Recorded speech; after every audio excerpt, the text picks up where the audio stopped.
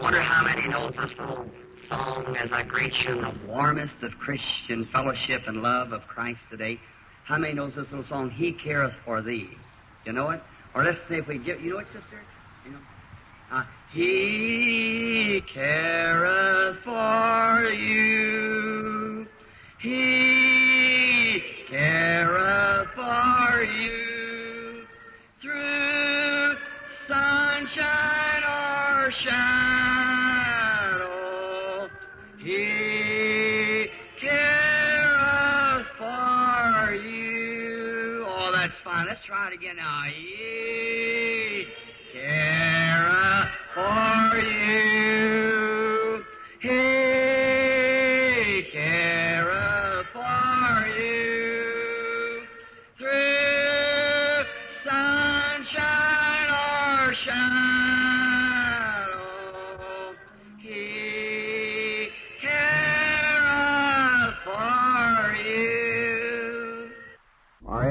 Father, we thank Thee that Thou dost care for us and hast manifested Thy love towards us in so much that you sent your own beloved Son there, the innocent Son of God, to take the place of guilty sinners.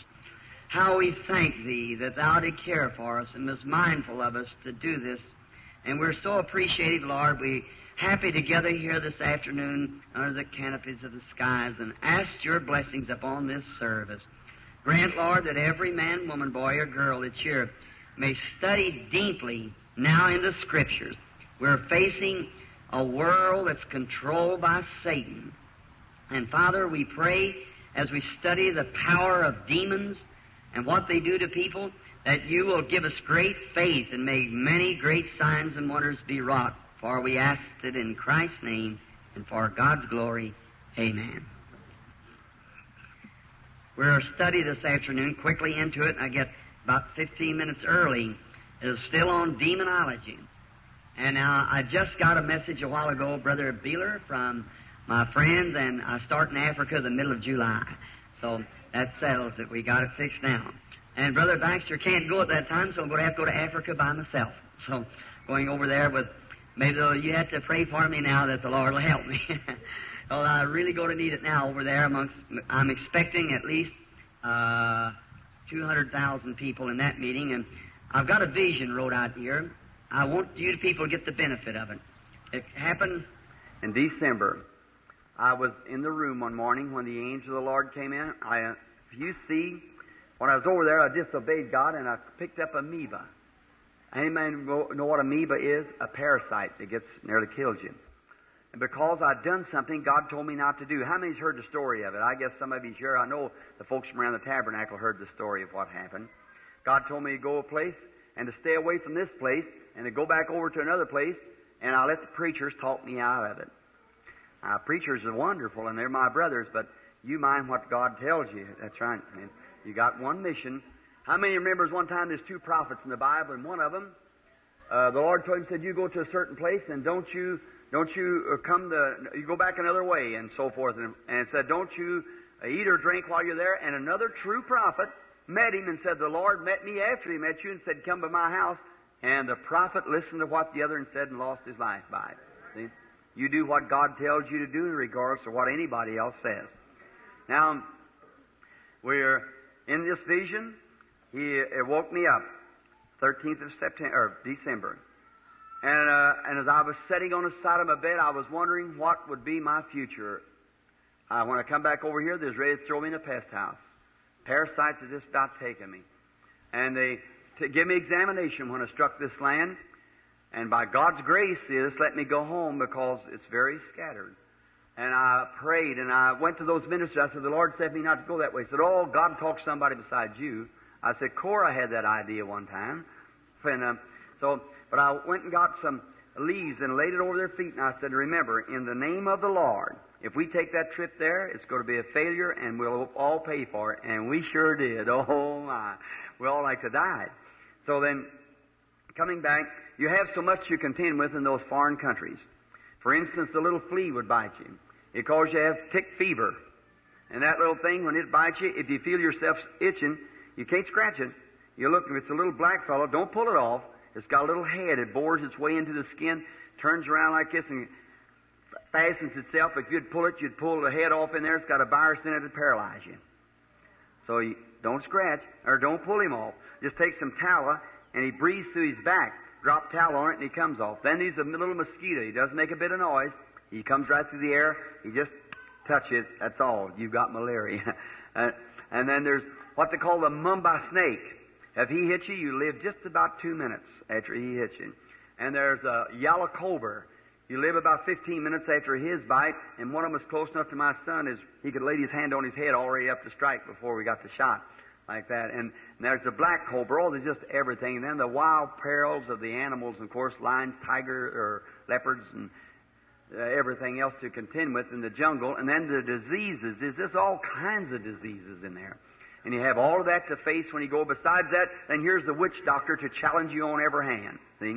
And all their superstitions and things. But how, what a marvelous thing to see our Lord just wave it away from side to side like that and go on. And that day I remember standing there, how well, what taking place. I'll tell you sometime in another meeting because I want to get on the subject this afternoon of demonology. But now, in this, I was thinking about there, what will the end be? And we're coming back across the sea. I know we had around 100,000 conversions while we was in there. An old brother Bosworth come to me. He said, I said, well, brother Bosworth, he said, I'm so proud of you, uh, brother Branham. He said, you're just here just in the beginning of life. And he said, I said, well, I guess it's all over. I said, I'm past 40 years old, and I guess I fought a good fight and finished the course. He said, past 40 years old. I said, I was that old before I got converted. I said, I'm still going good. he was pretty near going into his 80. And just, and I thought, well, maybe that's about right. So he said, No, you're just a brand new Branham now. You just know how to control your meetings better and everything. He said, Just if you ever strike America in its right way the right setup meeting where you can stay six or eight weeks in a place and get it set up and advertised around, said, You do something. But, and for our Lord. So we went ahead just uh, on like that. So it was very, very nice. And after a while, I saw a vision when I was in America, and it come to me and returned me back to Africa. And it showed me that same meeting sitting there in front of Durban. And the first meeting faded away into history going towards the west. The second meeting rose up, and when it did, it was still larger than the first meeting was, and he, I heard a scream, and an angel was coming out of heaven, and he had a great light. And the angel of the Lord which stands by sure was stand, always stands by my right, over on this side. And it was standing there, and it was it was milling around, and I seen this one, man standing there. He's, a, he's not now that's not vision when you see him. It's just as real as you're looking at me. Well, you can hear him walk and talk to you, and when he anything, it's just as real as it's not a vision. The man's just standing there, just same as you are, and his voice is just the same as mine would be or yours would be. But a vision, something that breaks before you, and you see it like that. But this man just walks up and stands there.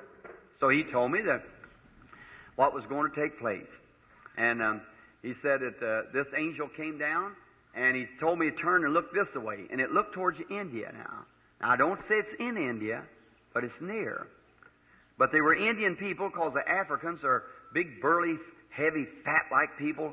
Some of them are nearly seven foot tall and weigh, oh, 280 or 300 pounds. Burly, the Zulus. Now the Shungai and Bazuta and all these many different tribes. There's 15 different tribes sitting there that day I was speaking to.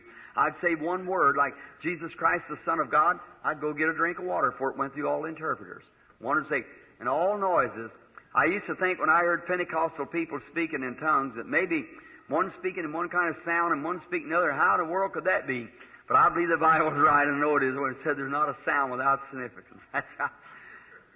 Some of them would say, one of them would go, blue, blue, blue, blue. That meant Jesus Christ, the Son of God. And they go, clunk, clunk, clunk, clunk. That meant Jesus Christ, the Son of God in His language. So no matter what kind of sound it is, it's a meaning somewhere. That's right. No matter what kind of a noise it is, it means something to someone somewhere. And when he was, um, they'd give that out. And I noticed that over to my left, when that angel came down, and I seen a swarm lights there, and they were a man with looked like they'd had a, a sheet around them like this, and it wrapped up and tied like around a small baby, the napkin. And it was, and I could just see as far as I could see, it was none but people. And then this angel turned on a great oscillating light, and it began to sway back and forth like that. And I never seen so many people in my life. And then this other angel came real close to me, and he said, There's 300,000 of them in that meeting. Now I've got it written down here. And you write it in some kind of a piece of paper, like I told about the little boy being resurrected in Finland. You write that on a flyleaf of your Bible or somewhere. And in this meeting, there's going to be a meeting, uh, and you'll hear it through some outlet, of 300,000 people attend that meeting. I see if that isn't right. That'll be three times the size the other one was. See? 300,000 people to attend the meeting. And I'm just so happy to get to get there, I don't know what to do. For I like to win souls to our Lord. And there at one time, seeing, seeing 30,000 raw heathens come to Jesus Christ in one altar call. 30,000 raw heathens. Now, let's go to our subject right quick. Yesterday we studied the technique of demons. I've been thinking today as God dealing. You don't know what a liberty it is to get out. Now, I, am not a teacher. I'm a long ways from being a, a Bible expositor. Um, and I am, uh, my education is limited to a seventh grade. So that's, and that, I come out of school about 25 years ago. So that's a long time off. And I do not have very much of an education, but all that I know is what I received through inspiration. And if that inspiration doesn't compare with the Bible, then it's wrong. See? It's got to be the Bible, no matter what inspiration it is. It's got to come. Here is God's foundation. No other foundation is laid but this. And what this is, if what I would say would be contrary to this, you let my words be a lie because this is the truth. See? See? And if an angel would tell you something that would be different from this, Paul said, let him be unto you a curse. Even an angel of light. Now, there's many great things. I only, they only, I chose two days cause to get this subject to the people. Uh, that was yesterday and today of the afternoon meetings. Now, the reason I did this is to give myself a little try to see if God would help me. There's something on my heart. And this is that after this great message and after God Himself confirming what I have said to be the truth in His Word, by His Word first, and then through signs and wonders, now I think with the gospel truth to the church, I'm under obligation to God to bring this to the church. That's right. They're so broke up in so many different organizations and sectarian parts of it, to, that's wrong. We're all God's children when we're born again. That, see? And the truth of the thing is that God wants us to know that, that we're His children. Now remember, the Temple of Solomon was cut out all over the world. And here come one rock twisted this way, and one rock twisted that way, and one cut up this way, and one cut that way. But when it come together, there wasn't a buzz of a saw or a sound of a hammer. Everything went right to its place. God was the instructor of that. God's got a church called Assemblies, and one the Church of God, and one to this, and the one to that. And but when they all come together, there'll be one big group of brotherly love, and God will assemble that church together and take her on up into the skies. Every famous picture, before it's ever hung in a hall of art, it has to be hung, go through the hall of critics first. The man who painted that Gusto, or, pardon me, I can't call his name, painted the Last Supper anyhow. It cost him his lifetime. He painted that picture. It's about 20 years, or 10 years, I believe, between painting Christ and Judas. And did you realize in that famous picture that the same man posed for Christ 10 years later posed for Judas? That's right. He did. 10 years of sin from a great opera singer to take the place of Christ come to the place of Judas. You don't have to take 10 years to take 10 minutes. It'll do the same thing to you. It'll change your character in sin. But anyhow, that picture went through all the critics. And that's what I think about the God's church. The group that's called, well, I don't mean this to any slam. I've sailed the seven seas and I'm on my third trip around the world, and the people say, Holy Roller, Holy Roller, and I've searched the world and I've never found a Holy Roller yet. That's a name the devil has tacked on to the people, that's all. There's no such a thing as a Holy Roller. Now, I have statistics of every 668 different churches that there is in, organized in the world, and there's not one of them called Holy Rollers. That's from the government. There's not one Holy Roller church I know of. So it's just something the devil calls.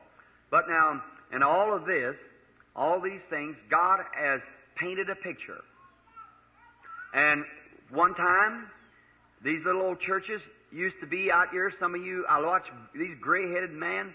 My boy yesterday, I was in the room studying, and a minister came by and said, like shake hands with your dad. Of course, my boy's been raised up with Brother Baxter and them who just, oh, that's it, quickly. I don't like that. See? No matter if I, of course, I can't be servant of man and God too, but I think I like to shake hands with my brethren. I like to do that. There's something about it. I like uh, to shake the hands of a, of a minister, not only a minister, but any child of God. I like to do it. I didn't know about it until it, my wife had told me a little later. Well, if he could have told that minister just a minute, he's back there in prayer, and, and I'll see what he can say. Well, that, that would have been better. So I give him a little correction on that, not to do that. See?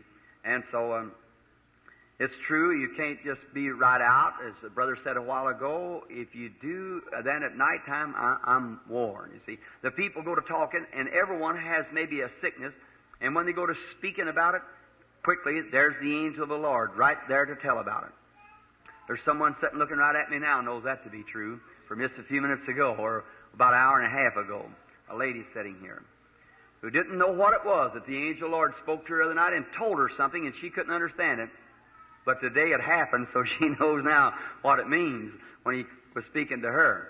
And how standing there talking to her, the angel Lord went right straight back out and told her what her trouble was and what was all about and, and what she was thinking about one of her loved ones and how God had spoken, said He'd confirmed it and what was going to take place. So that's just exactly the way it'll be. See? God has said so. Well now, what about a few times that ever, and then, and each vision just weakens you that much more, you see. And the first thing you know, when you get to church at night, you're just so completely wore out till you just don't know hardly what to do. And you pray for me now, see, because it's out of one meeting to another to another. If this was the only meeting, it would be different. If I was going home now, I wasn't going to do nothing for a couple months, go out and uh, get my fishing line and go fishing, but I got to go from one meeting right to another, from one right to another, you see. That's what makes it. And you all pray, you people back here in the audience. They told me last night that I, that I was speaking to a certain person and the person did not respond to the call. Uh, that's pretty dangerous, you see. When he said it, well, sometimes these lights don't shine. There's a dark spot in between there. And I'll watch the angel, of Lord, when he's standing here, I can feel it. Then I'll feel it move from me, and I'll watch it leave me, and it'll go over somewhere and stand there a little bit, and I can see it. It'll flash on, and there'll be a vision come. Then I'll see the vision. I'll watch what kind of looking person it is around there. I find the person, and I speak. That's what takes place. That's what happens. You don't have to tell everybody that, but that, that's what takes place, you see. It's all in the spiritual realm. Then if that person don't respond, it'd be like reading the Bible here and saying nothing to it, walk away from it, see. So that makes it pretty bad. So be on alert. Be listening. Be watching. When he speaks, answer. See, just be ready to, answer at any time. And uh, so my wife and brother Beeler and many of them this morning was telling me about it that it was calling a man about his brother somewhere that had something wrong with him and so forth, and the man did not respond to the call. So that can't be helped. That's between God and the man. The vision left me then. I couldn't find it no more because it didn't answer. So be watching, be on alert. Now, taking this subject of demonology and speaking about demons. Now, people, when you say demon, right quick they begin to think, oh, some fanaticism or something. But demons is just as real as angels. They're just as real, and the devil is just as real a devil as Jesus Christ is the Son of God. He's a devil. Heaven is just as real, and if there is no such a thing as hell, there's no such a thing as heaven. And if there is no eternal blessed, eternal punishment rather, there's no eternal blessed. If there's no day, there's no night. See? But as sure as there's day, there's night. It's as soon as there's a, sure as there's a Christian, there's bound to be a hypocrite. As soon as there's somebody that's genuine from God, there's somebody to impersonate that. See? It's just exactly pro and con, black and white, right on down through life, on everything true and false, everywhere. And there's a false gospel, there's a true gospel. There's a true baptism, there's a false baptism. There's a make believe and there's a real. There's a true American dollar, there's a false American dollar. There's a genuine Christian, there's a genuine hypocrite. See? It's just impersonating. So you find that. So it all goes together. Now we can't separate it. God lets the rain fall. May let me speak here just a little bit How many preachers is here? Raise up your hands. All around preachers. Let's see your hands. Well, God bless you, brethren. Now, now you don't take this for doctrine now, but just before we approach this vital subject, I tell you one. How many Pentecostal people here? Raise up your hands. All around everywhere. Well, you're all Pentecostals. All right. I'll tell you what I had when I first come into your realms, ranks. I was right up here in Indiana at a certain place called Mishawaka. The first group of Pentecostal people I ever seen is called the, the Pentecostal Assemblies of Jesus Christ, I believe, or something like that. Wonderful bunch of people. Now they organized together and called it United Pentecost. They break up from the rest of them because of an issue of water baptism. That don't make them any hypocrites. There's many a genuine, real, genuine Holy Ghost born again Christian in the ranks. And God gave them the Holy Ghost by being baptized in Jesus' name, and they give the others the baptism of the Holy Ghost, being baptized in Father, Son, Holy Ghost. So God gives them the Holy Ghost who obeys Him. So who get, who got who obeyed Him? there you are. If you just forgetting them, it wants to be one way. Let them be, and you go ahead and be brothers. That's all. Don't. What done it was breaking among, uh, breaking away. See, what is breaking, tearing up, breaking up brotherhood, setting out and separating yourselves. No, sir. We're not separated. We're one. That's right. But when I was standing there, I was watching those people. Now, me just come out of a regular little old Southern Baptist church. Well, I'd see those people. I went in there and they were clapping their hands, hollering, one of them, one of them. Glad I can say I'm one of them. I thought, my. First thing know, here comes somebody down through there dancing as hard as they could dance. I thought, what's church manners? I never heard such things as that. I kept watching around, wondering, well, what in the world's the matter with those people? Now, you've heard me tell my life story where I hit that meeting there, but this is one thing I've never told. Never told it before in public. So they, now if you want to rub it off your recorder, well, you can do so. All right. Now, in this, I watched. And now I thought, well, them people are the happiest people I ever seen in my life. They wasn't ashamed of their religion. We Baptists get this little bit of shame once in a while, you know. See? And when they go to pray, you know, get behind the fan, you know. And, and but we, but them people wasn't, brother. They they had religion all inside, outside, and all over them. Well, I remember that night when I got on the platform. Said all preachers on the platform is the convention. They had to have it up here in the north on account of on account of the colored uh, problem, the Jim Crow law of the South. So there's all met there from everywhere. So I was sitting up there, and he said, well, now there's, I heard all preachers through that day and that night. They said some old preacher is an old colored man, come out just a little bit of rim of hair around his head like that, big old long frock-tailed preacher coat on, you know, velvet collar in hot weather. Poor old fellow come out there like this. He said, "My dear children, I won't tell you." Got to testifying. I was about the youngest one sitting on the platform. So then he said, "I tell you." He took his text from over in Job. Where was you when I laid the foundations of the world? Declaring to me where they're fastened. All these other preachers have been preaching about Christ along the regular run. I listened to them, enjoyed them. But not that old boy. He went back under about 10,000 years before the world ever started. He went up into the heavens and come plumb down across the skies what was taking place, what they was preaching on going on in the daytime, he was preaching on what was taking place in heaven. He brought Christ back on the horizontal rainbow back under somewhere in eternity. Well, he hadn't been preached about five minutes. That old fellow something got a hold of him. He jumped up in the air and clicked his heels together and hollered, whoopee! He had about as much room as I got up here. He said, You ain't got enough room for me to preach, and away he went. Well, I thought if that'll do that to a man about 80 years old, what would it do to me? That's what I want. That's what I want. But what got me was this. Now we're talking on demons now. What got me I watched two men, one sat at one side and one the other. And when the Spirit would fall, the man would raise up and speak in tongues and shout and turn white around the mouth. And I thought, oh my, if I could only have that. See, how wonderful. Oh, that's, I just love that. Well, I went out in the cornfield and I told you my life story you read in the book. I slept all night and I come back next morning.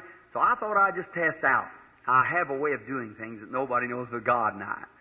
So that I take up a parable and go to meet a man's spirit. You see it right here on the platform. See? And so then I got to talking to one of those men. I seen them, they sit close together, and they just hold hands and dance and shout. I thought, oh my, that sounds real to me. And I took hold of one of his hands and I said, How do you do, sir? And he said, How do you do? Very nice man, gentleman type fellow.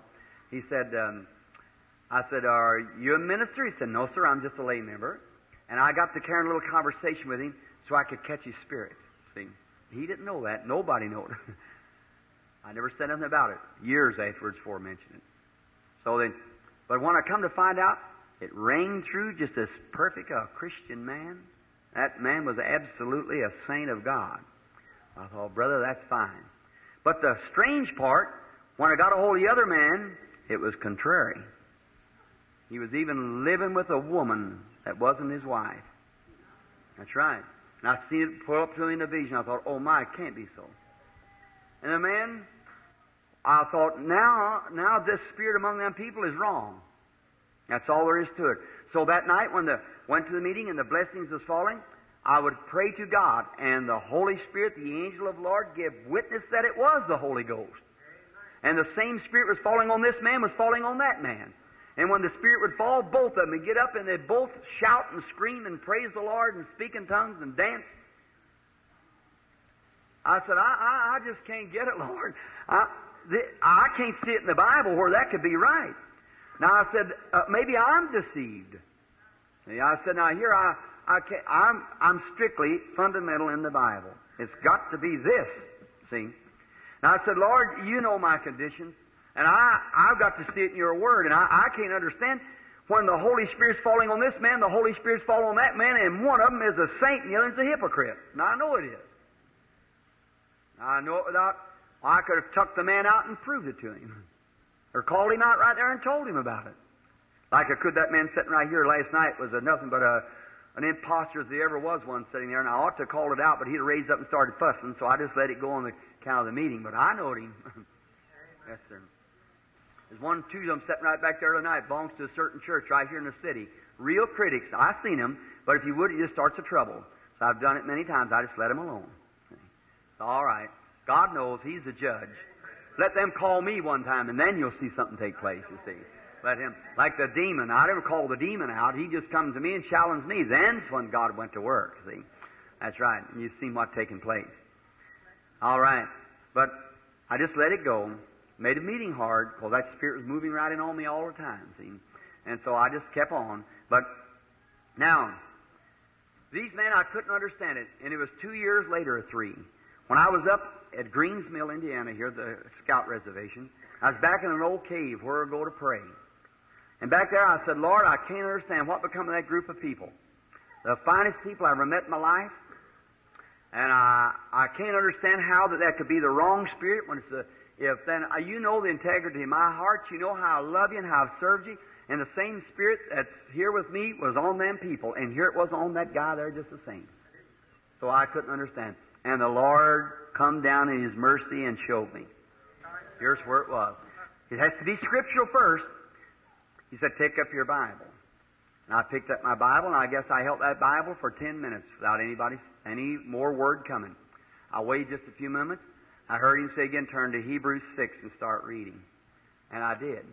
And it would come down there, where it said, the rain cometh off upon the earth to water it and prepare it, dress it for which is, but the thorns and thistles, which is nigh unto rejection, whose end is to be burned.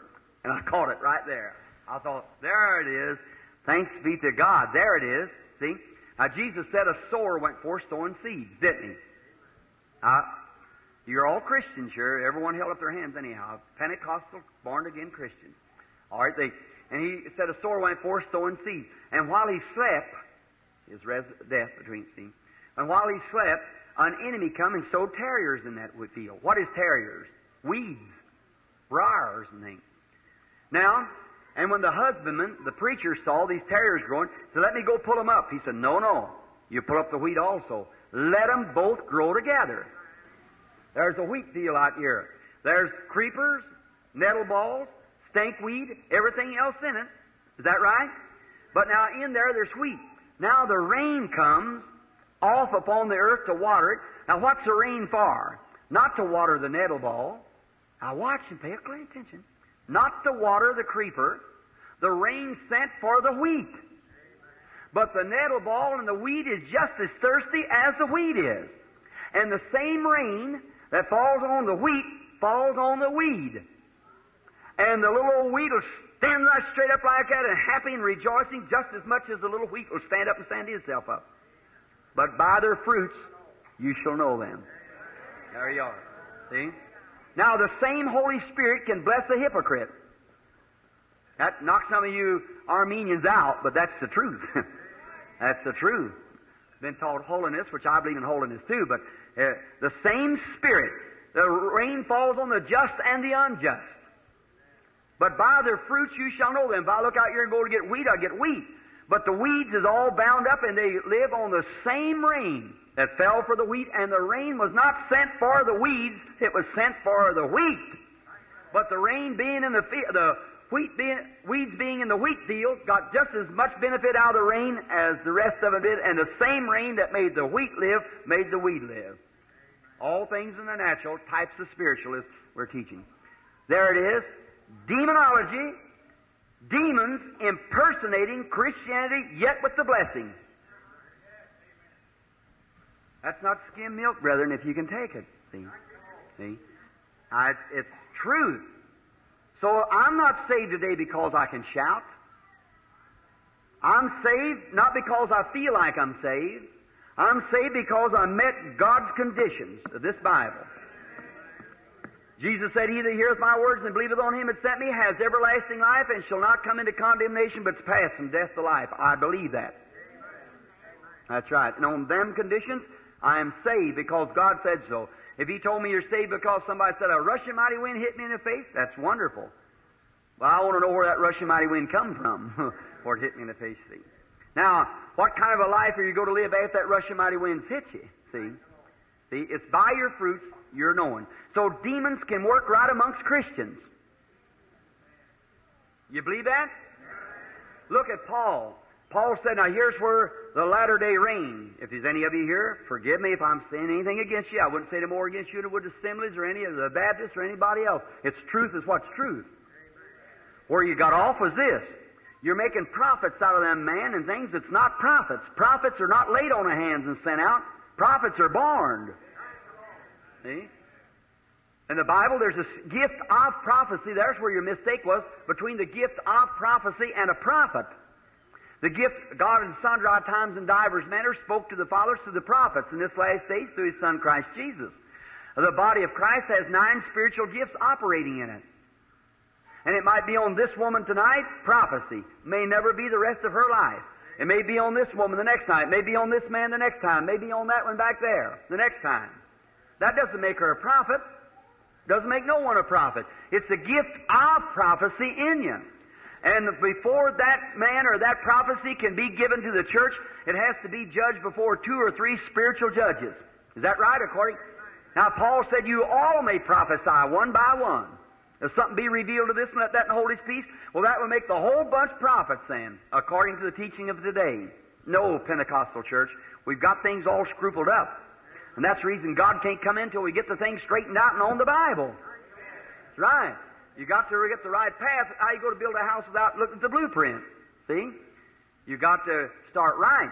Now in there, a prophet, you never seen anybody stand before Isaiah, Moses. One did stand, Korah one day, and try to dispute with him, and God said, Separate yourself, go to open up your earth. A prophet is born. Gifts and callings out repentance. That's the foreordination of God from the baby up. Everything was perfectly right along. Exactly what he said was the truth and vindicated and brought out. It's the Word of God comes to the prophet. But a gift of prophecy is in the church. Now you said, well, the prophets were the Old Testament. Oh no. The New Testament had prophets. Agabus was a, was a New Testament prophet. Look at the spirit of prophecy falling down there and telling Paul about, and here come Agabus down from Jerusalem and found Paul and tied a, a, a, his girdle around him and turned over and said, Thus saith the Lord. A man that wore this uh, will be bound and changed when he gets to Jerusalem. Agabus, who stood up and told the, foretold what would take place, he was a prophet. Not a man with the gift of prophecy and the gift of healing and all those gifts. My Pentecostal friends, you got it mixed up. The gifts are in the church, subject to any persons in the church, anybody that's baptized into the body. By one Spirit, we're all baptized into. And the Bible said, well, I got the gift of healing. Well, the Bible said, confess your fault one to another and pray one for the other. Every person pray one for the other. We're not a divided group, we're a collective, gathered group. See? Now, and there's how demons sometimes working. Now watch what Paul said. If one speaks with tongues and the other interprets, and whatever he said, let it be judged for before the church can receive it. Now, it won't be a quoting of Scripture or something other like that. God don't repeat himself. But it'll be a warning to the church. Then if good judges says, let's receive that. All right, it was of the Lord. The second one says, let's receive it. The mouth of two or three witnesses, let every word be established. Then the church receive it and go make ready for it. If that doesn't come to pass, what that said, then you've got an evil spirit among you. That's right. If it does come to pass, then thank God. The Spirit of God's among you. See? Now that's where you have to watch and be careful. So don't try to press. I couldn't make myself have brown eyes when I got blue. See? I have to be satisfied with blue eyes. Now there's where demons work in the realm of spiritual people. Now, we got a deep something coming here, and I hope it's not too deep. Now, over in 1 Samuel 28, I want to read some scripture here right at this time. I want you to listen closely, and I want to bring demons, show you how they work right in the church and how Satan has a counterfeit for every real there is. Now, you can see, according to the Bible, that demons come among Christians and they impersonate. And many times we have declared people to be Christians when they said, I believe in Jesus Christ. Why, the devils believe the same thing and tremble. That's no sign you're saved. One of these nights I want to get on election, and then you'll see what salvation means. There's nothing you had to do with it in the first place or the last place, or nothing you can do about it. God saves the man unconditionally. Boy, that sunk deep, didn't it? I just might as well get that out of your system while we're at it. All right. Abraham was the beginning of our faith. Is that right? Oh, Abraham had the promise. And God called Abraham because he was a great man, I guess. No, sir. He come down out of Babylon uh, in the, land of Chaldea in the city of Ur, and God called him and made his covenant with him unconditionally. I'm going to save you, and not only you, Abraham, but your seed, unconditionally. God made a covenant with man, and man breaks his covenant every time. Man never did keep his covenant with God. The law was never kept. They couldn't keep the law. Christ was come and broke the law himself. Because grace had already provided a Savior, Moses, provided a way of escape, and then the escape, rather, and then the people after that, they still wanted something to do. Man's always trying to do something to save himself when you can't do it. It's his nature. As soon as he found out he was naked in the Garden of Eden, he made some fig leaf aprons. Is that right? But he found out they wouldn't work. Nothing a man can do can save yourself. God saves you unconditionally. All down through the age, and then when you're saved, you're saved. Look at Abraham. There that fellow was, went over, God gave him the land of Palestine and told him not to leave there. Any Jew that leaves Palestine was backslid. God told him to stay there. If God tells you to do something other and you don't do it, then you're backslid. Is that right? All right, a drought come on to try Abraham's faith. And instead of Abraham staying there, no, he couldn't stay there. He run off and took Sarah and went about 300 miles. Wish I had time to get on that. Down to another land. And when he got down there, and then he got this great king down there, uh, Abimelech. He was a young fellow and he was looking for a sweetheart. So he found Abraham's wife Sarah and fell in love with her. And Abraham said, Now you tell him that you are my sister, and I'm your brother. So that pleased Abimelech, so he said, All right, we'll just take her over to the castle, and I guess the women fixed her up, and he's going to marry her the next day. And Abimelech was a good man, a righteous man. And that night while he was asleep, the Lord appeared to him and said, You're as good as a dead man. He said, The man's, the woman that you got out there to marry is another man's wife. I what? Another man's wife. Why, he said, Lord, you know the integrity of my heart. A righteous, holy man. You know the integrity of my heart. That man told me that was his sister. And didn't she tell me herself that that was my brother? He said, God said, I know the integrity of your heart, and that's the reason I kept you from sinning against me. But that's my prophet. Hallelujah. What was he? Backslid. And a little lying shyster. Is that right? Oh, they know little white lies. They're either black lies or they're not lies at all. The man sitting out there telling a pine blank lie, saying that was his sister when it was his wife, beating around the bush and backslid. And here was a righteous man standing before God and said, Lord, you know my heart, but I'll not hear your prayer, Abimelech, but take him, take her back and let him pray for you. He's my prophet. I'll hear him. Yeah. A backslider. A liar. But that's my prophet. Is that truth? That's the Bible. Now don't go plumb too far over here on the Calvinistic side, once in grace, always in grace, because you're getting disgrace. See? Now just a moment. We'll get time this week to bring that up and show you how to level it is. But don't think it's because you've done something wrong that you're gone forever. You're a child of God, you're born to the Spirit of God, you're sons and daughters of God. And the fruits will bear record of itself. There you are. Now here we are, sitting in the land.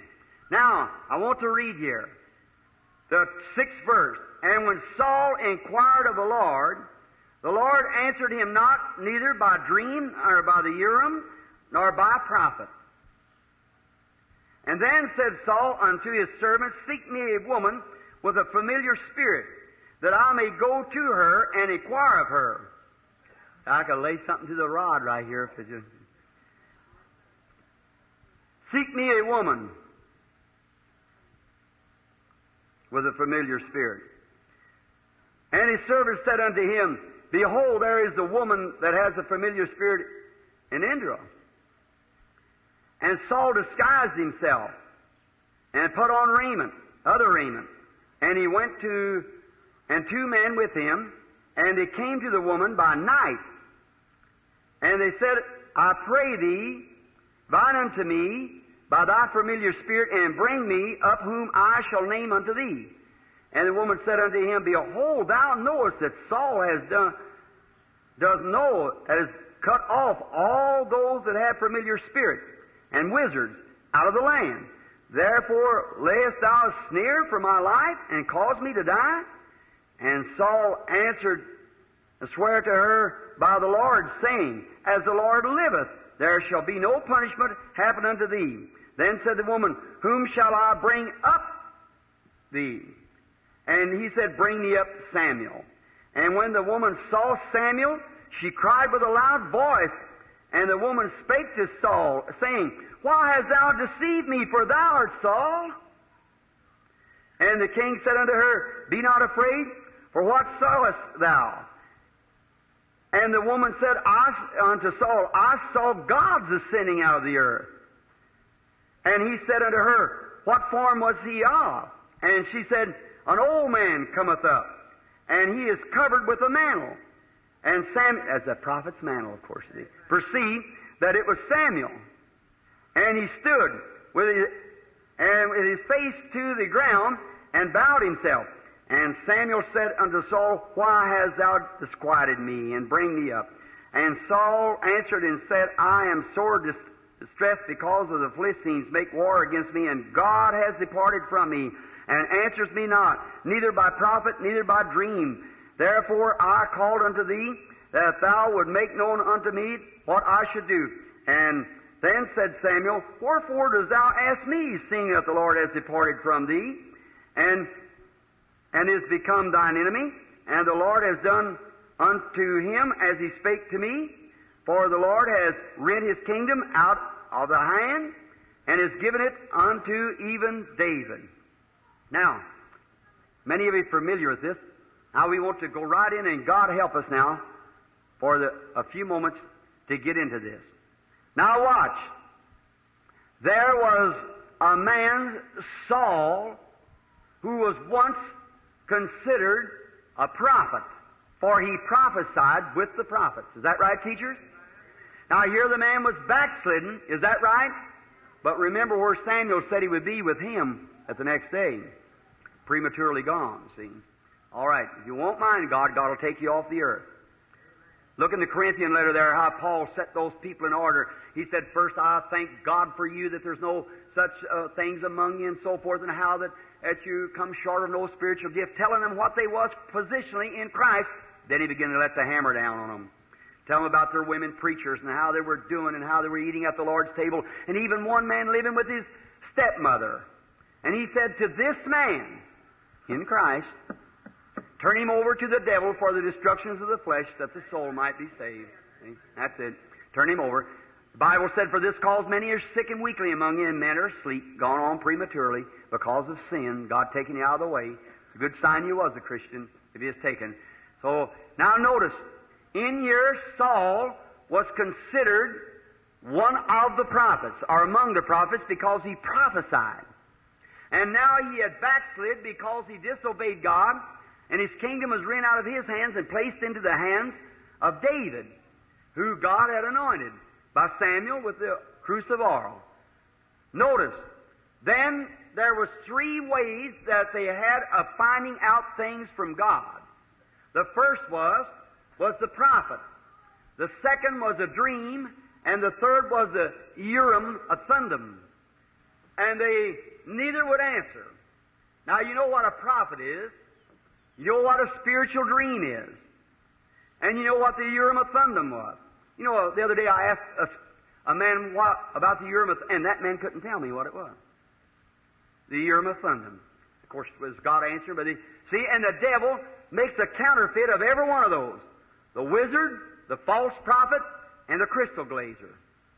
See, now the Urim Thummim hung on Aaron's breast here, and the Urim Thummim covered over that stones, and they hung it in the temple, and when they wasn't sure, they'd go before God and answer, and a light would flash on that Urim Thummim, which whether it was God's will or not. Now, when the Urim Thummim wouldn't answer, now that was the direct answer from God. Now, the Urim Thummim of today, the fortune teller took a crystal ball to pattern that, a false thing. God's in a Trinity, God's powers is in a Trinity, and the devil's in a Trinity, and his powers is in Trinity. I can prove it by the Bible. And that Urim and Thummim was only the crystal ball that the devil uses today. And the false prophet back here today, the one that we have now, was uh, the witcher, the fortune teller out yonder, took the place of the prophet on the devil's side. See what I mean? Now, then the Urim and Thummim today is this Bible. If somebody has a give a prophecy or a dream and it don't compare or echo with God's Bible, it's false. Don't believe it. A man come to me not long ago from India, where I'm fixing to go, a fine little preacher. He said, Brother Branham, I come over here, said a woman had the Holy Ghost and said she was just a sweetest, nicest woman. He said, and she had been married four times and was living with her fourth husband. And I said, Well, how could that be, Lord? And said, I went to him and said, Oh, glory to God. Said, Hallelujah, praise the Lord. Just one of that type, you know. Said, Hallelujah, praise the Lord. Said, The Lord told me, Here, I'm going to give you a dream. And said, I dreamed that my wife, I seen her living in adultery. And she come back to me and said, Oh, will you forgive me, Victor? Will you forgive me? I did, well, I said, Sure, I'll forgive you and take you back. He said, Now that's what I did. Said, See, I forgive. I said, Victor, your dream was mighty lovely, but the devil give it to you. He said, Well, I said, don't compare with God's Word. She's living in adultery. Absolutely. She can't live with four men. Right. She leaves that and goes back to her first. She's worse off than she was beginning. She has to live single the rest of her life. I said, you know, that don't compare with God's Word. So her, her dream was false. And I said, it won't compare with this. And when a prophet had a, a give a prophecy, and they spoke and wanted to see that prophecy was true, they put it before the Urim Thummim, and if the voice of God told the lights on the Urim Thummim, then it was absolute the truth. And if a man gives an interpretation, gives a dream, gives something of the Bible, and, or something other, and it don't compare with God's Bible, it's false. There's the Urim Thummim today. God's Word speaks, and that's direct the voice of God, like the Urim Thummim was before the Bible was written. Amen. Hallelujah. I feel kind of religious right now. Don't take me a fanatic. If you do, it's, I know, I know where I'm at. I'm not excited. That's right. Here is the truth, God's Word. I don't care what kind of dream you had or what kind of prophecy you given. If it isn't God's Word, it's wrong. But don't compare with that Word. That's what's the trouble today. One has a dream, one has a vision, one has a tongue, one has a revelation. It's got the whole thing so messed up and everything. You got denominations and broke up everything. You ought to bring it back to a final foundation, and that's God's Word. That's true. Churches that build up on one side. Oh, Jesus coming on a white horse. I know I see him in the vision. They make a church at that time. Oh, hallelujah's coming on a cloud. They make it in that kind. Break them up and separate and call one another buzzard roost and louse hang out and everything like that. Why, brother, it goes to show in the first place your heart's not right with God when you do that. Right. We are brothers. We must stick by one another. We need one another. Now look, Saul had backslid. And he goes up. He, God had turned his face from him. And he went up and he inquired with the prophets. The prophets went and tried to prophesy, and God cut off, wouldn't give a vision. Prophet come out and said, I can't know. He never told me nothing about you. Well, then he said, Lord, give me a dream. Night after night, no dream comes. Then he goes into the Urim of Thummim and he said, Oh God, I've tried the prophets, I've tried the dreams. Now you help me. Will you do it? Cut it off. No lights flashed at all. Then he resorted to a witch. Low, degraded. And he went to her and crawled in there and disguised himself. And this witch goes out and calls up the spirit of Samuel. I know what you're thinking. Many said that wasn't Samuel, but the Bible said it was Samuel. And it was Samuel. Strange how you catch that, isn't it? but that was Samuel, the Bible said it was. And that witch could call him up. And she called up Samuel, and Samuel was somewhere else, but was conscious of what was going on and was still standing with his prophet's mantle on him. So, brother, when you die, you're not dead, you're living somewhere, somewhere else. Let me stop just a minute to get this demonology down just a little bit. She was a demon, but she was in close contact with the spirit world. Now today, there's many spiritualists that know really more about the spiritual world and people who profess themselves to be Christians, yet she's a demon. In the Bible times, it's the same thing. When Jesus was here on earth, there was them professors and scholars and teachers, some of the best there was out of the better seminaries than we could produce today. And holy, renowned man, they had to be. If a Levite was found, he had to be found blameless, righteous in every way. And yet that man knew no more about God than a rabbit knowed about snowshoes. When Jesus come, he failed to recognize him and he called Jesus a devil. He said he's Beelzebub, the prince of the devils.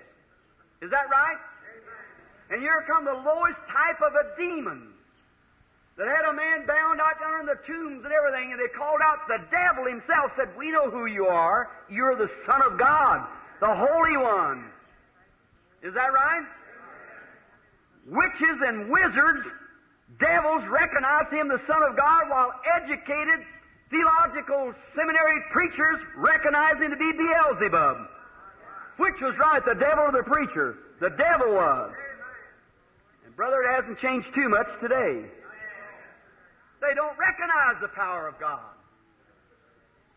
No matter how much teaching you got, you can drum that into you. God's not in big words. God's in an honest heart.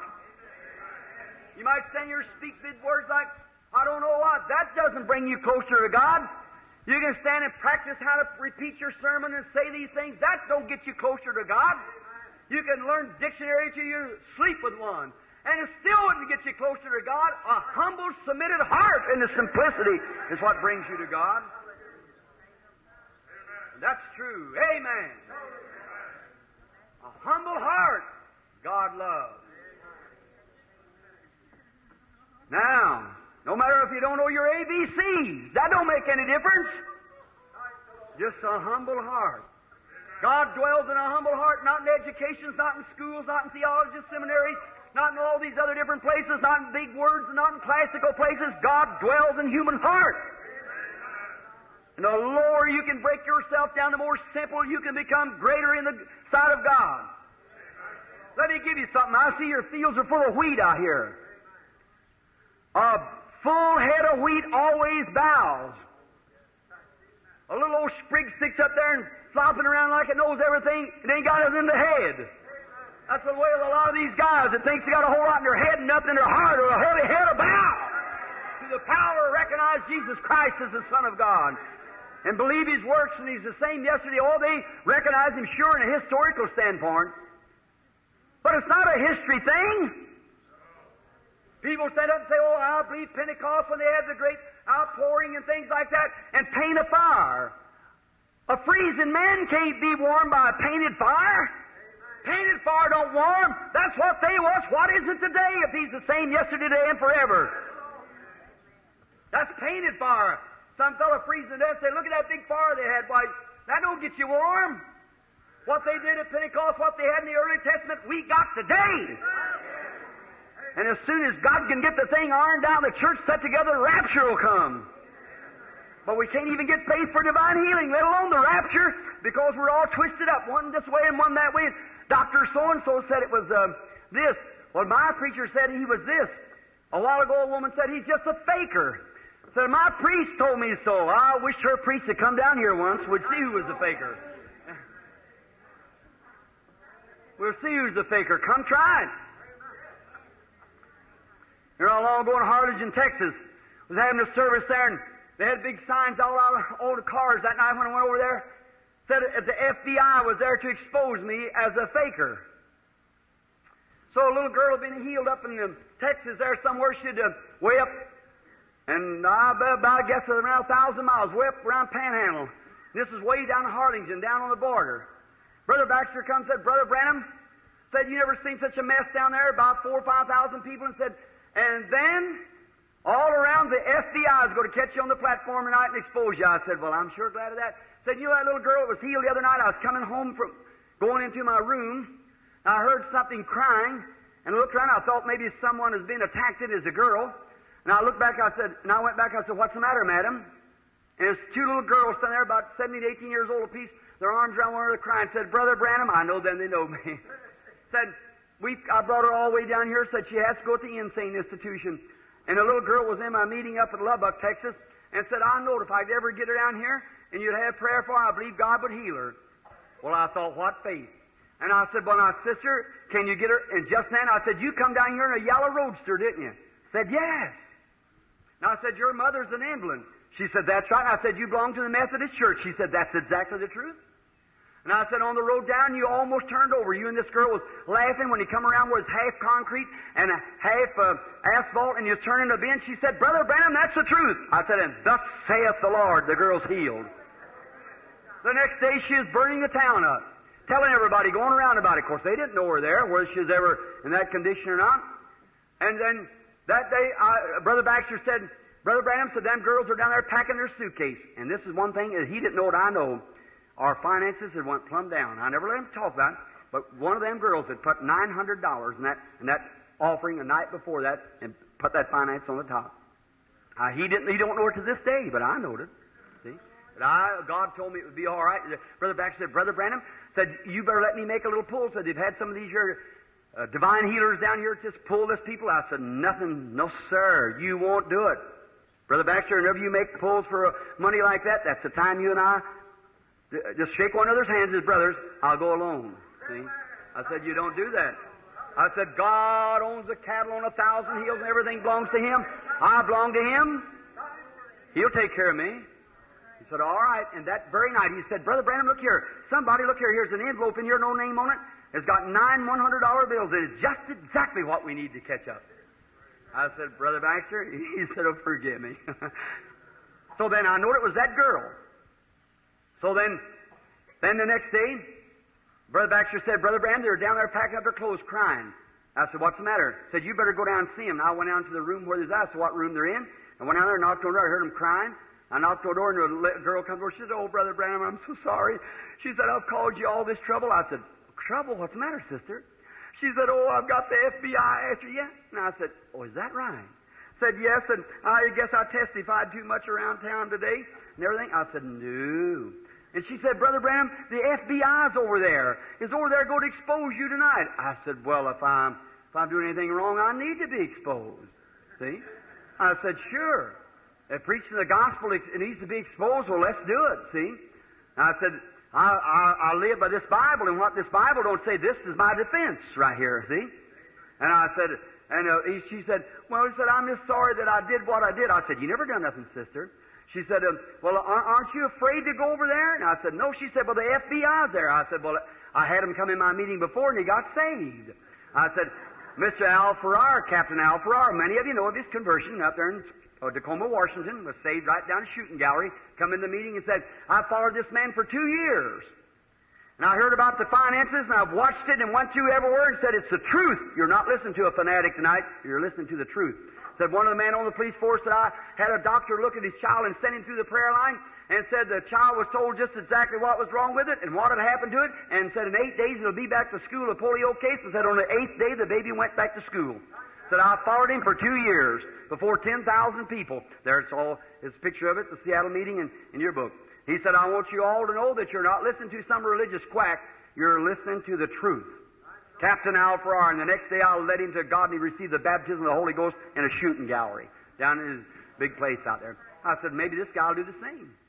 So she said, Are you afraid to go over there? I said, Afraid? Well, certainly not. certainly not. Why should I be afraid when God sent me to do it? He's the one that fights the battle, not me. So I said, Now I want all of you to stay away. And so I, uh, we went over to the meeting that night. The place was packed out, and the custodian there come out and said, Reverend Branham, I hired ten Mexican children. Said, Look at here, Reverend Branham to be exposed tonight by FBI, fanatic religious, or something like that and said it's on every one of them cars flew out. Said I hired ten little Mexican children to go to pull them all off and put them over here. Said, oh, I feel like if I get a hold of that guy, I said, don't worry, sir.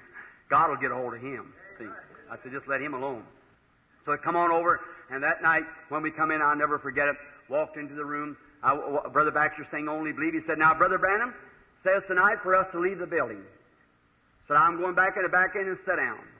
He said, "They're fixing to expose him tonight." here on the platform. He said, I've seen him in many hard battles and seen God take his place. That I, I'm just going back to sit down. I walked up. I said, I was just reading a, a little article here that where I was to be exposed tonight at the platform here. I said, uh, I want the FBI agents now to come forward and expose me up here on the platform. I said, I'm standing here in defense of the gospel. I want you to come to expose me. I waited. I said, Maybe they're not here yet. I know where I was at. He'd already showed me my room up yonder, what was going to happen before I left, you see. And I said, I said, uh, maybe I'll wait just a little bit. Might we sing a hymn? And somebody come up and sing a solo. I said, Mr. FBI agent, are you inside or out? I'm waiting to be exposed. Would you come forward? Nobody come. I kept wondering where it was at. The Lord told me that what it was was two backslidden preachers, and I, I was watching. I seen a black shadow hanging in the corner. I knew where it was at. I looked over there, and it moved right up and went up into the gallery like this. A man with a blue suit on, one with a gray. I said, friends, there's no FBI. What the FBI's got to do with preaching the Bible? I said, certainly not. There wasn't two FBI agents to expose me, but here's the exposure. There, they sat right up there, them two preachers right there, and they got down. I said, don't get down like that. And a few of them big Texans go to go up there and grab a hold of them. I said, no, brethren, this is not a flesh and blood affair. Just sit still. God will take care of that. I said, now, brethren, look, while you're up there, look this way. I said, if you said that I was Simon the sorcerer, under witchcraft I was bewitching the people. I said, if I am Simon the sorcerer, then you are the man of God. Now you come down on this platform. And if I be Simon the sorcerer, let God strike me dead. And if I be God's prophet, you come down and let God strike you dead. Now we'll see who's right and wrong. Now you come on down. We'll sing a hymn. Out of that building they went and we never seen them since. See? I said, come on, if I'm Simon the sorcerer, let God strike me dead. And if I'm God's prophet, then God will strike you dead when you come to this platform. If I am truth before God, God will let you die on this platform. They know it better. That's right. They know it better. They'd heard from other places. That's right. So don't never think but what God's still God. He answers. Now, this witch of Endor, she called up the spirit of Samuel. And Saul talked to Samuel. Now you might wonder how that could be done. It cannot be done today. No, sir. Because the blood of bulls and goats was only awaiting for the time of fulfillment. When a man died in them days, preachers, back me up if you think it's right. When a man died, he died under the atonement of an animal. And his soul went into paradise. And there he stayed until that, to the, to the day of redemption. And his soul was in there. Let me draw you a little picture here. How many read my article, or the article they wrote about me in Reader's Digest here about in October, November's issue? All right? You notice how that was? Did you notice about two or three weeks before that, this great famous medium here, it's been tried since way long time ago, her, uh, Miss Pepper, did you anybody ever read that Miss Pepper's article in the Reader's Digest? Isn't it strange how them two spirits? How much time have I got? Not but just a little 28 or just I'll have to hurry. I know we got look. Excuse me for a minute. You know there's there's false is there true and a false of everything. If I give you a dollar and I say, Is this a good dollar? and you look at it, it'd have to look pretty much like a real dollar you wouldn't believe it. Is that right? So it'll have to be really a good imitation. And the, Jesus said the two spirits in the last days would be so close that it would deceive the very elect if possible religious people. Now remember. Now there ain't nothing out there in them old cold, formal outside they have just a form of godliness, you see. But these two spirits are real spirits to be so close to to see the very elect, how they's working side by side. In the last days, did Jesus say that? He did. Now watch, friends, we'll draw you a little picture. I want you to look at here just a minute and give me your undivided attention. Because we're going to give you a parable. And then you see it. Now, in the Reader's Digest, it wrote up there, I was standing out there. We had 2,700 people waiting to get prayed for standing out there. You read the article. And a man come down from Canada. And he had a little boy that had been to Mayo's and John Hopkins, of serious brain disease, that drawed his little hands in like this and drawed his legs up under it. And they said, there's not even an operation or nothing can be done. So he took it back to Canada. and said, I'm not whipped yet. You get November's issue of the Reader's Digest, and it's called uh, the um, the miracle of Donnie Martin. And, um, and then said that uh, in there that, uh, that the man said, I'm not whipped yet because I know a faith healer named William Branham that caused two of my friends who was deaf and dumb to speak and hear. And they called to try to find where I was at in, the, in America yet. And I was over in Costa Mesa, California. And it's this article, when you read it, get ready to cry. It just break your heart how he went through snow drifts and everything else with that baby. He said, Be careful, Donnie. Said, Now we're not defeated. And the little boy couldn't even smile hardly. He was so afflicted. Said, We're not defeated. We'll go and ask God. We'll go to God's prophet and ask him. So then they come through the snow. And they finally got down there, and the mother was coming with them, and they didn't have money enough to go by airplane. So they sent the mother back, and the boy and daddy had to come on a bus, and had they rode all the way from Winnipeg, Canada, to Costa Mesa, California. And they got in there broke, and the father tells about how he had to change the little diapers on the little boy about seven or eight years old, just perfectly helpless, and how he would couldn't get a chance to eat or nothing, and said his little boy could just hear him talk, and he could tell the way his eyes looked that he was he was trying to smile, you know, and know that he's, telling different sights he was seeing over in America. And when they got him there to um, California, they said to the um, traveler's aid what he'd come to see, and he said, "Come to see a divine what?" And a big question mark. Of course, you can imagine what America said about it. You see. That's us, you see. We so smart, we know everything, you know, and there's no need telling us anything. We got it all wrote down. See? So then, um, so a divine what come all the way from Winnipeg, Canada? Well, they thought that was horrible. Anyhow, the newspaper attached a, a, a car and sent him over there. And he said when they got to the line, where was that? Said 2,700 people was waiting to be prayed for. But say when they seen that deformed little boy and that poor daddy with his cap on, his raggy coat said everybody just stepped aside and give him his place. When he hit the platform, it's against the rules to swap a prayer card. Somebody must come to the meeting and get your own card. If you're ever caught in the line swapping prayer cards on somebody else, the prayer card's dishonored. See? Because you must come hear the instructions and know how to receive it. It's up to you. You can't get it for someone else. You have to come get it yourself. So you hear some big person said up oh, I don't believe nothing in this thing, but maybe if he heal me, I, see. And then that causes a fuss at the platform, so they just call that thing out before he gets there.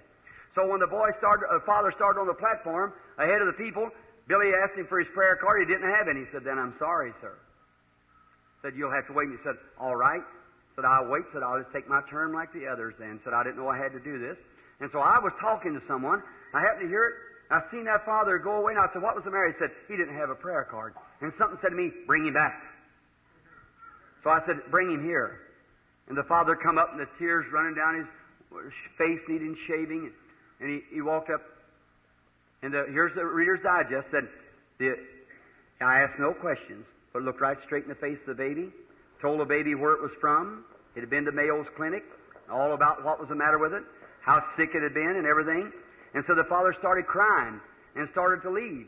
And said he started off the platform and he turned around. And He said, That's right, sir. He said, But will my baby ever live? I said, That I can't say. I said, Just a moment. I've seen a vision appear. I said, You won't want to believe this because Mayo's and Hopkins both said that operation couldn't be performed on that brain. But I'll tell you what you do. You tomorrow, you just go ahead with this baby. Within the next three days, you're going to meet a black headed woman on the street. And that woman's going to ask you what's the matter with that baby. And then she's going to tell you of some little country doctor out here that can perform that operation.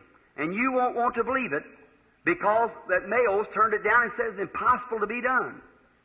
But that's the only chance your baby has through the power of God, the mercy of God, and that operation. Now, if you believe me to be his prophet, go do as I tell you. Like putting the figs on Hezekiah and so forth. He said, he turned around and said, thank you. Walked off. Two days or more passed, and he's down on the street one day, and a lady walked up and said, What's the matter with your baby? He said, It's got a, a brain disease. And he was going on talking like that. And, well, it, it, they thought it was awful bad, you know. So he said, Just a few minutes, something taking place. She said, Sir, I know someone who can do that operation. He said, Lady, look, Mayo brothers give it up. And said, It can't be done. Said, A man up here is a praying for it named Brother Branham. Said, He's uh, made a prayer for the baby. And he said, Wait a minute. Black headed, wearing a gray coat suit. Said, That's her. Said, Where is that doctor? And he told him, took him up there, and the doctor performed the operation. The baby got well. Now, that comes through the Reader's Digest, you see. And Mayo Brothers called me in on an interview for that. Said, Reverend Branham, what did you do to the baby? I said, Nothing. I never touched it. I only told what God told me to tell it. The man obeyed it. Now, the funny thing about it, about two weeks after that, or two weeks before that, or three, in the Reader's Digest, maybe a month ahead, Miss Pepper's article come through. Now, she's a genuine witch or a medium. Now, there's a real one, and there's somebody impersonating.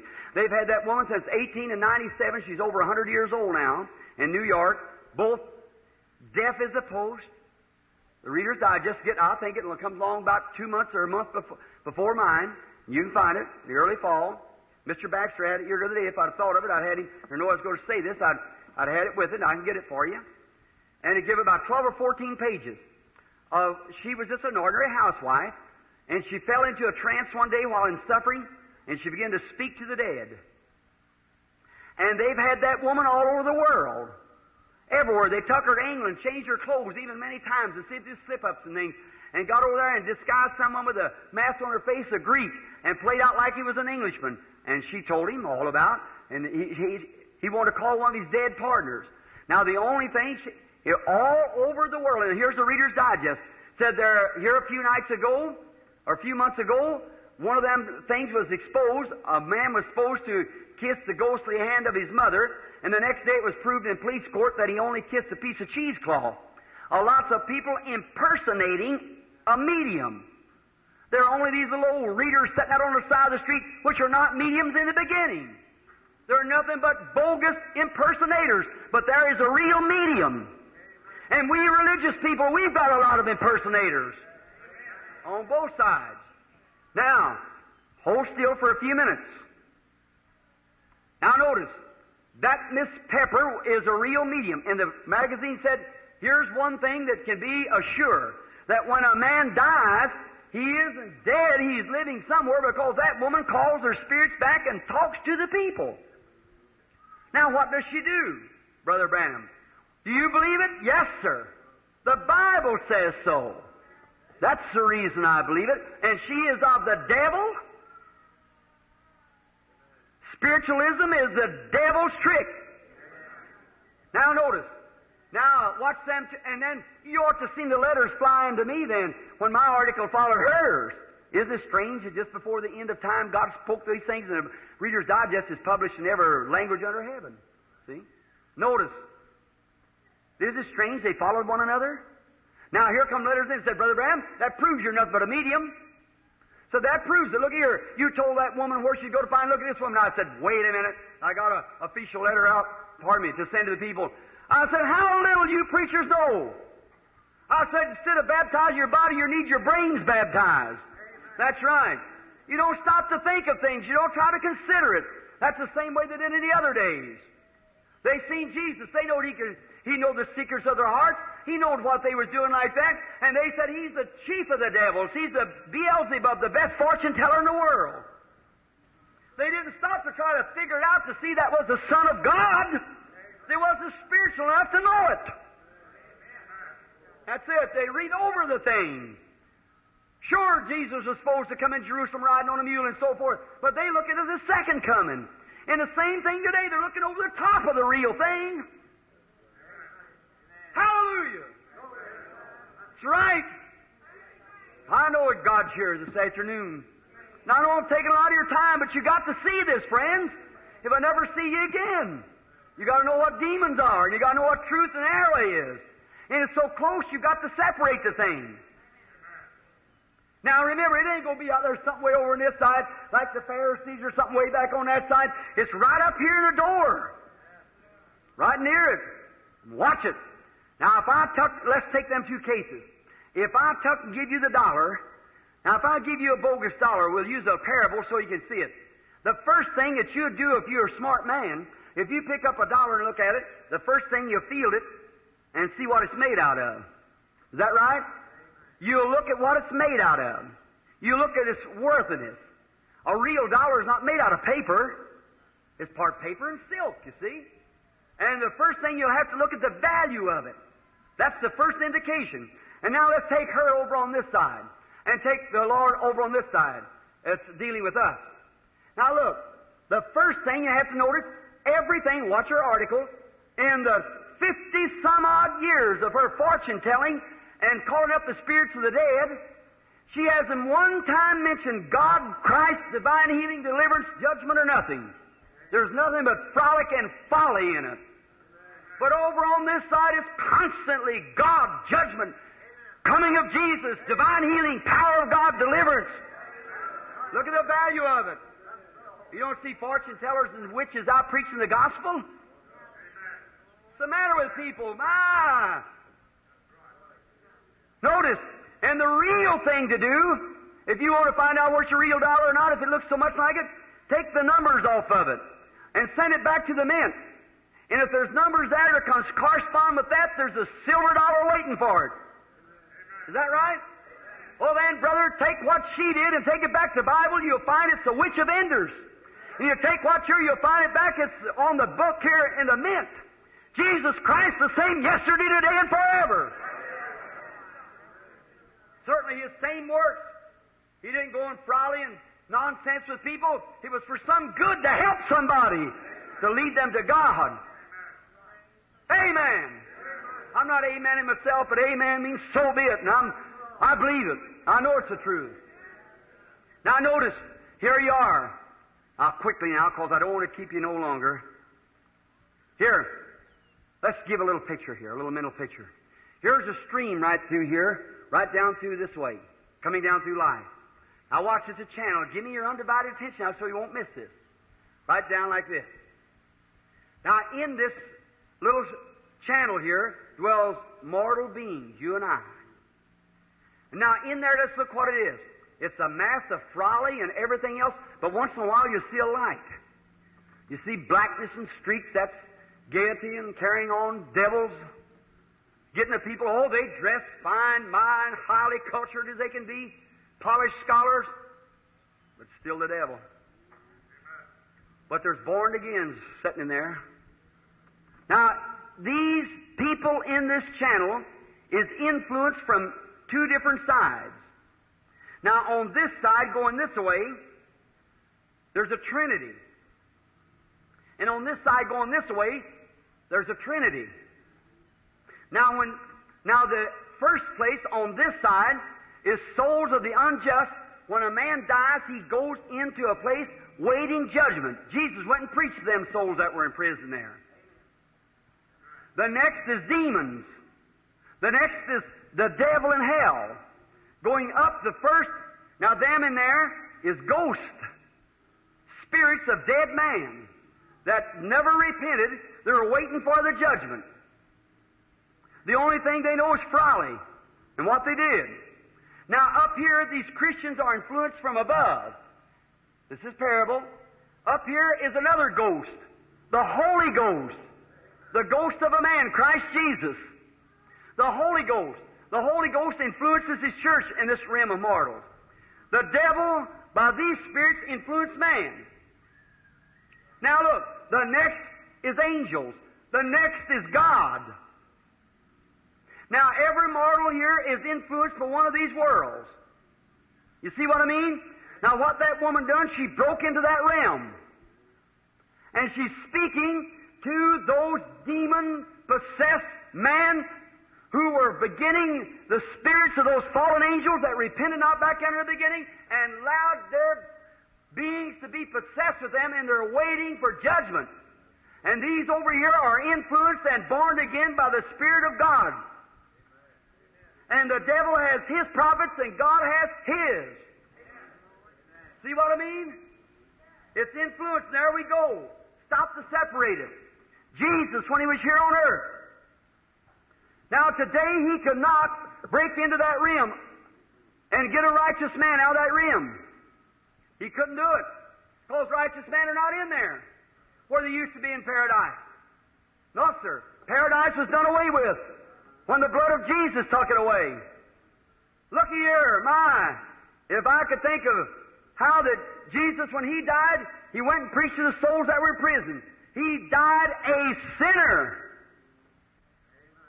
Knowing no sin, yet our sin was on Him. And God, for His sins, sent Him to hell. The Bible said He went and preached to the souls. Some people said, Brother Branham, I can't understand. They said Jesus rose on the third day. He died Friday afternoon, rose up on Sunday morning. Why, he's only dead one day. He said, within them time. For he had one scripture in the Bible that he could stand on. For David, a man of that backslid later, but he was saved. But a prophet, under the inspiration of God, said, I'll not leave his soul in hell, neither will I suffer my Holy One to see corruption. And he knew three days and nights that that body would set in corruption, and God had done said through the prophet, He'll not see corruption. So, hallelujah. He took God's word. He defeated Satan every time on He defeated death on the word of God. Hallelujah. He defeated death. And when they killed him, and he died a sinner, my sins and your sins upon him, he went down, I can see him knock at that door there, and then the lost souls come out and said, Well, who are you? He said, Why didn't you listen to Enoch? Why didn't you listen to those other prophets that preached? They was condemned.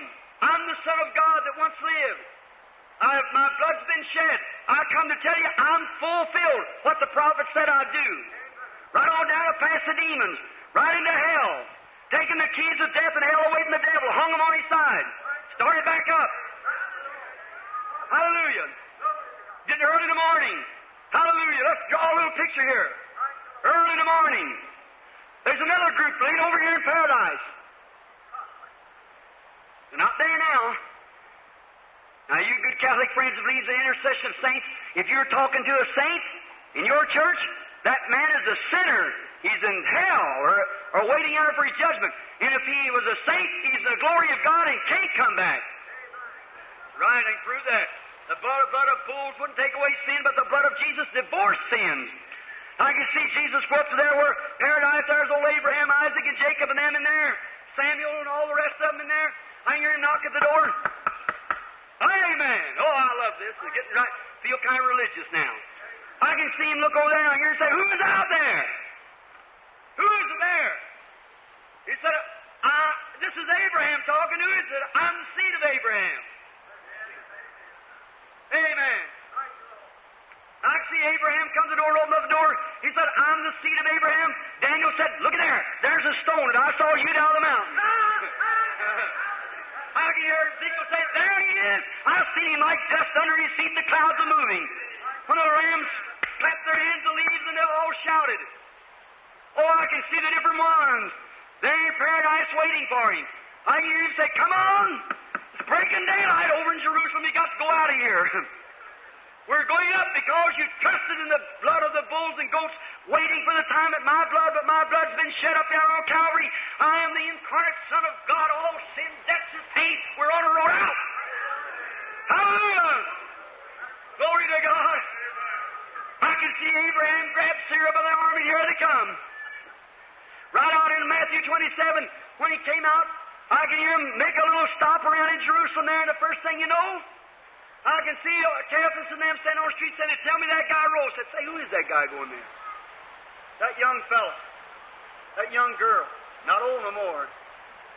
That was Abraham and Sarah. And they vanished. They looked, somebody them. They could have vanished just like he went through the wall. The same kind of a body. Hallelujah. Right? Here's all the prophets them walking around, looking around the city. And Jesus led brought on up in up over the stars, moon, clouds, and let captive captive give death, gifts unto man. Jesus sits today at the right hand of the Father, climbed up there, sat down to all his foes, be made his footstool. And today, my dear Christian friends, demons are working on every hand, and God's Spirit's moving right out on the other hand to counteract it every time. Hallelujah! There you are newspapers and digests and everything else is declaring it. They're watching. They can't see what it is. What is it? It's the foreshadow of the great showdown. It's coming pretty soon between God and devil. Get on God's side and be right in your heart. Amen. Here not long ago, I was up Toledo High having a meeting. Going to close. You see what I mean by demons? They are working. They're very religious. Just as religious, oh, they go to church every Sunday. Repeat the Apostles' Creed and sing the doxology. Eh, oh, my. Just as religious as they can be. Brother Branham, you mean that's the truth? That's the kind of a spirit that hung Jesus Christ to the cross, and Jesus said, You're of your father, the devil. Now, someone said, Oh, Russia's the Antichrist. Never. Russia's not the Antichrist.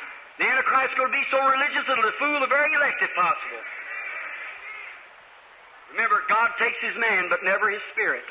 The devil takes his man, but never his spirit. Now, there they are. Suit yourself. I'm only responsible for truth. Demons. Working yesterday, I had them in the physical realm. Today, I'm showing you in the spiritual realm. Where they are in the religious realm. Where they are out there called cancer, and they call this, that, and the other. But I prove to you by the Bible, they're devils.